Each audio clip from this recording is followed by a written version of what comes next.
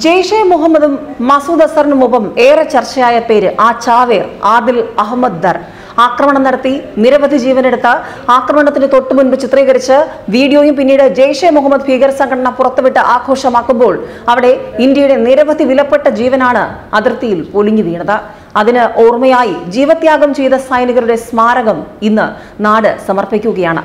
ലത്പോറയിലെ C ക്യാമ്പിൽ പുൽവാമ ഭീകരാക്രമണത്തിന് India നൽകിയ മറുപടിയായി ബലാക്കോട്ട് വ്യോമാക്രമണം വലിയ പ്രതീകമായി നിൽക്കുമ്പോൾ തന്നെ പുതിയൊരു സ്മാരകം കൂടി ഇന്ത്യ ആ വീര സൈനികർക്കായി സമർപ്പിക്കുകയാണ്. ബലാക്കോട്ടിലെ ഭീകര കേന്ദ്രങ്ങൾ തകർത്ത് മിന്നലാക്രമണം നടത്തി ഇന്ത്യ ശക്തി പ്രകടനം നടത്തുമ്പോൾ ഇമ്രാൻഖാൻ അക്ഷരാർത്ഥത്തിൽ ഞെട്ടിവിറച്ചു. ഭീകരരെ കാണാനില്ലായിരുന്നു. ഇത് മെയ്ഡ് ഇൻ ഇന്ത്യയാണ് ഇന്ത്യയിൽ നിർമ്മിച്ചെടുത്ത ഇന്ത്യയുടെ ഉരുക്കു മനുഷ്യരാണ്. അതുകൊണ്ട് തന്നെ വലിയ സുരക്ഷാ ക്രമീകരണങ്ങളിൽ ഒരുപക്ഷെ പാകിസ്ഥാന് ഇനി കളിക്കേണ്ടി വരും. ഇന്ത്യ അതീവ സുരക്ഷാ മേഖലയിലൂടെ തന്നെയാണ് ഇപ്പോഴും കടന്നു പോകുന്നത്. കാരണം ഏതെങ്കിലും തരത്തിലൊരു ആക്രമണ സാധ്യതയുണ്ട്. പ്രത്യേകിച്ചും പുൽവാമയിൽ ഇന്ത്യൻ സൈനികർക്ക് നേരെ നടന്ന വലിയ ഭീകരാക്രമണ വാർഷികമായതുകൊണ്ട് തന്നെ അതീവ ജാഗ്രതാ നിർദ്ദേശം ഇന്നലെ മുതൽ തന്നെയുണ്ട്. രഹസ്യാന്വേഷണ വിഭാഗം ഇത് സംബന്ധിച്ചുള്ള കാര്യങ്ങൾ കടുപ്പിച്ചു. രാജ്യത്തെ പുൽവാമ മോഡൽ ആക്രമണം പലപ്പോഴായി പാകിസ്ഥാൻ ഭീകര സംഘടനകൾ പ്രത്യേകിച്ചും ഗസ്നാവി ഫോഴ്സ് എന്ന പേരിലടക്കം സംഘടനകൾ രൂപീകരിച്ച് നടത്തിയേക്കുമെന്നുള്ള സൂചനകൾ വന്നതുകൊണ്ട് തന്നെ ജെയ്ഷെ മുഹമ്മദിന്റെ പുതിയ പതിപ്പ് ആ ഭീകര സംഘടനയെ കരുതി തന്നെയാണ് ഇന്ത്യ മുന്നോട്ട് പോകുന്നത്. പാക് ചാര സംഘടന ഐ എസ് ഐയുടെ മേൽനോട്ടത്തിലാണ് ജെയ്ഷെ മുഹമ്മദിന്റെ പുതിയ നീക്കം.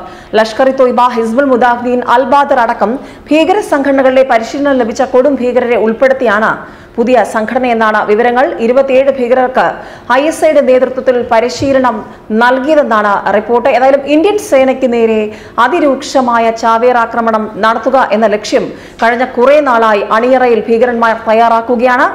സ്ഫോടക വസ്തുക്കളുമായി ഇവർ സൈന്യത്തിന് നേരെ ചാവേർ ആക്രമണം പുൽവാമയിൽ നടത്തിയതുപോലെ സമാനമായി തന്നെ നടത്തുമെന്നാണ് ഇന്റലിജൻസ് മുന്നറിയിപ്പ്. അതുകൊണ്ട് തന്നെ അത്തരം മോഡലിൽ ട്രക്കുകളിൽ സ്ഫോടക വസ്തുക്കളുമായി വരാനുള്ള സാധ്യതകൾ മുൻകൂട്ടി കണ്ട് ഗസ്നാവി ഫോഴ്സിനെ മൂക്കുകയറിടാൻ നേരത്തെ തന്നെ ഇന്ത്യയിൽ അതിർത്തിയിൽ സേന സജ്ജമാണ്. കശ്മീർ താഴ്വരയിൽ പ്രത്യേകിച്ചും ത്രീ സെവന്റി റദ്ദാക്കിയപ്പോൾ മുതൽ പാകിസ്ഥാന്റെ അസംതൃപ്തി പുകഞ്ഞുകൊണ്ടിരിക്കുകയാണ്. ഏതെങ്കിലും തരത്തിൽ ഒരു ആക്രമണം ഉണ്ടാകുമോ എന്നൊരു സംശയം ഉള്ളതുകൊണ്ട് തന്നെ കശ്മീരിൽ ത്രീ സെവന്റി റദ്ദാക്കിയപ്പോൾ മുതൽ സുരക്ഷ കടുപ്പിച്ചിട്ടുണ്ട്. പ്രത്യേകിച്ചും രാജസ്ഥാൻ വഴി ഗുജറാത്ത് വഴി തീരമേഖല വഴിയൊക്കെയും ഗുജറാത്തിന്റെ തീരമേഖല വഴിയും പഞ്ചാബ് രാജസ്ഥാൻ അതിർത്തി വഴിയുമൊക്കെ പോയ നാളുകളിലെ നുഴഞ്ഞുകയറ്റ ചരിത്രം വേഷം മാറി വേഷപ്രച്ഛന്നരായി കാടുകളിലൂടെയും കടലിലൂടെയും ഒക്കെ നീന്തി വരുന്ന പാക് ഭീകരന്മാർ. അതൊരു വലിയ ചോദ്യം തന്നെയായിരുന്നു. പക്ഷെ അതിനെയൊക്കെ നിർവീര്യമാക്കാൻ ഇന്ത്യൻ സേനയ്ക്കായി കര നാവിക വ്യോമസേനകളുടെ സംയുക്ത അഭ്യാസത്തിന് മുന്നിൽ സംയുക്തമായ കഴിവിന് മുന്നിൽ പിടിച്ചു നിൽക്കാൻ പാകിസ്ഥാനും ഭീകരന്മാർക്കുമായിട്ടില്ല. അതുകൊണ്ട് തന്നെ രഹസ്യാന്വേഷണ വിഭാഗങ്ങളുടെ പശ്ചാത്തലത്തിൽ രാജ്യം അതീവ ജാഗ്രതയിൽ തന്നെയാണ് മുന്നോട്ട് പോകുന്നത്.